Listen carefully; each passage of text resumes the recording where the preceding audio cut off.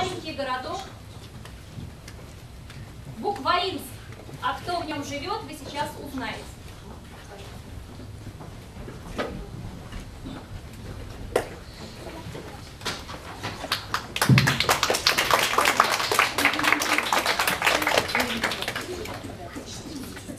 Был на вечере, на